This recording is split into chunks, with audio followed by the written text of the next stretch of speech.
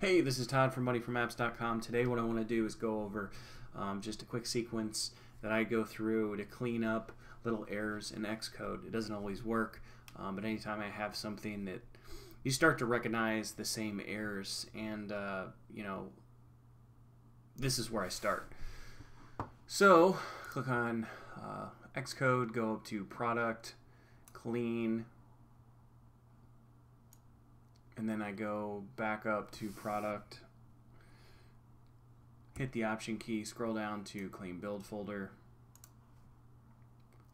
Then I go to Xcode, preferences, locations, click on derived data, and double click on here. Everything in this folder right here, um, I usually select and then move to trash, right click, move to trash. And then I also double click on archives right here and select anything that's in there. Right click, send to trash. Um, again, you're not deleting these files, you're just getting into, you're deleting the contents of these. Um, and then I empty my trash, close out Xcode, and when you close out Xcode, be sure, I mean, you can hit this, um, but be sure there's not a little dot under it down in your menu. So I usually just go down to the menu, right click, and then go to the bottom and quit.